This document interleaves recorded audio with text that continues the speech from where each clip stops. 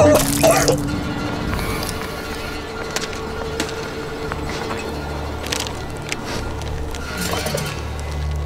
my god. Det men den albaneren, det var ikke så jævla lurt. Og serber. Ja, ikke nå lenger. Nå får de noe til gjengjeld, så skjønner de at vi er veldig veldig lei oss.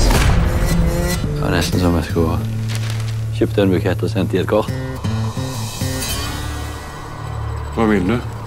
Han har dödat Ingvar. Ryktet säger att Ingvar har stulit en väska från greven. Greven. Jag tänker döda honom. Glöm det, Nils. Jag måste i alla fall försöka. Du er jo en eh, suksess, Nils. Vellykka, fullintegrert innvandrer. Og innvandrer, det er positivt. I denne sammenhengen. Finner meg faen ikke i det.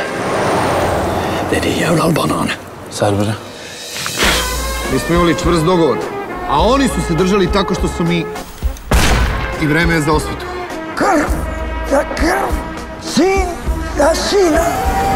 Faen jævla østeuropeiske monkeys. Er ikke du kidnapper? Ikke alltid. Men om du kneppe knäppa honom så måste du hyra en hitman. Finns en som kallas kinesen. Vad kallt det är for en kines. Jeg er dansk. Jeg har faen meg en jobb som er vanskelig og krevende. Du er jo ikke nogen vigtig forretningsmand, Ole. Du er kriminell. Nils! Vänta lite!